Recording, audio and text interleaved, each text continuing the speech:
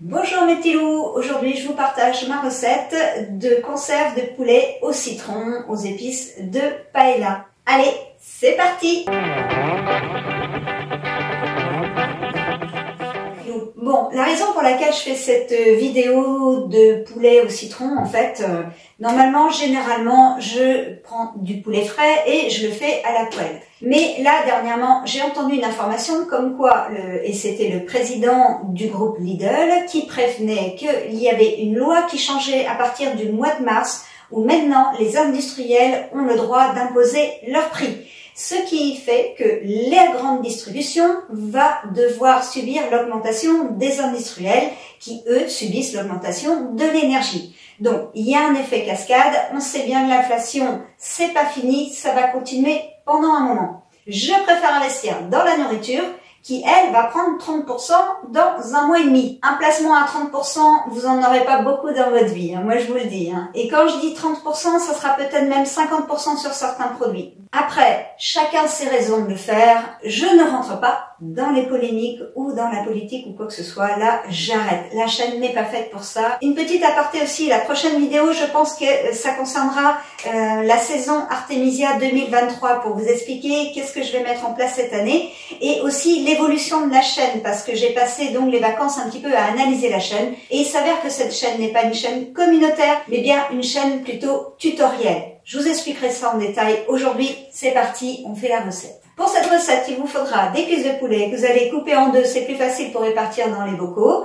À côté de ça, vous allez choisir des aromates. Moi, j'ai choisi euh, du thym et du romarin de mon jardin. Je vais y incorporer bien évidemment des grains de poivre, quelques petites baies roses, un peu de cumin, de l'ail et j'ai préparé donc mes échalotes, le citron, le poulet. J'ai fait ça hier parce que je sais que quand je tourne une vidéo, ça prend beaucoup plus de temps de faire les affaires. Donc forcément, j'ai pris un peu d'avance. Pendant que je vous parle, il y a ma saumure aux épices de paella. Alors tout simplement, hein, je prends 20 g de sel par litre d'eau et j'y rajoute deux sachets d'épices de paella. Vous pouvez faire également avec un bouillon de poule. Mes bocaux sont prêts, ils sortent du four, ils sont en train de refroidir. Je les ai nettoyés, je les ai montés à 100 degrés en les mettant au four avec du vinaigre blanc à l'intérieur. Je suis pas sûre qu'il y ait besoin de faire tout ça mais c'est très difficile de trouver les protocoles exacts de stérilisation, je trouve. Les joints, je les ai bien nettoyés, bien dégraissés, et je les ai fait tremper dans l'eau chaude, tout simplement pour les faire ramollir, non pas pour les stériliser. En fait, ça sert à rien de stériliser les joints. Prévoyez aussi un petit sopalin avec du vinaigre blanc pour bien essuyer votre bord de bocal après l'avoir rempli. Les petits loups, si comme moi, vous manipulez la nourriture avec vos mains, je m'assure d'avoir les ongles courts, bien nettoyés au savon de Marseille à l'aide d'une brosse, et en plus, juste avant de faire le remplissage, tac, tac, je me désinfecte les ongles, bien évidemment, à l'aide du vinaigre blanc citronné. Hop, hop, hop. Je laisse un peu sécher ma préparation de la veille, j'avais du coup laissé le thym, comme ça, ça, ça un peu aromatisé. J'avais laissé dehors, il a fait tellement froid cette nuit que pas besoin d'avoir un grand frigo. Euh, l'hiver est là, donc profitons-en. Donc mon romarin, mes échalotes, mon citron.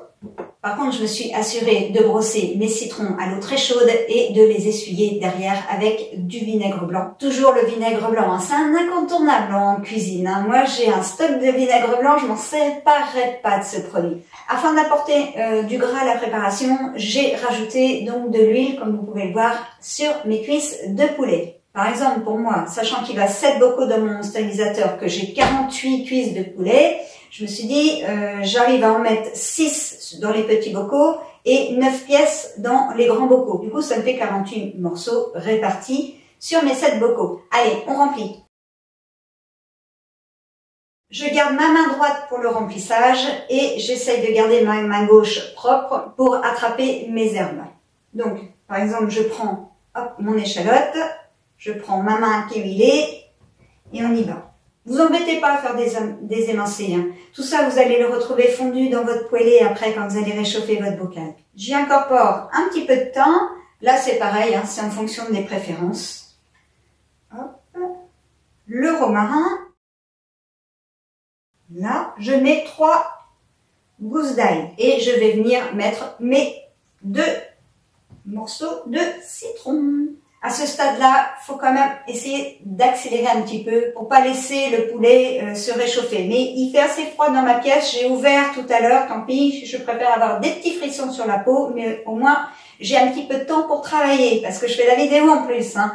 Là, normalement, vous, vous devriez avoir assez de temps chez vous. Hein. D'où l'importance de bien s'organiser avant.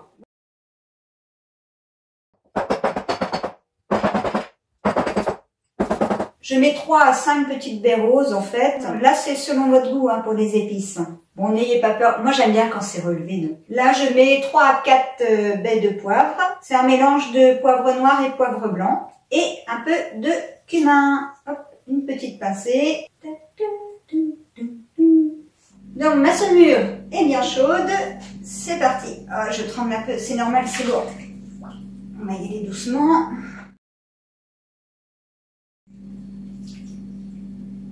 On en met toujours un peu à côté. C'est le moment, avant d'aller installer vos joints, de bien nettoyer votre bocal. Votre soupe à propre, vous l'aspergez de vinaigre blanc et là vous venez bien essuyer. Chaque bocal doit avoir un, endroit propre du sopalin. Hein. Donc c'est parti pour les joints. Donc voilà, bien propre, bien sec. On y va. Tac. Quand vous les transportez, vous voyez, hop, on les transporte à plat. Une petite trace, c'est pas grave. On essuie, on essuie bien. Donc c'est parti pour la stérilisation.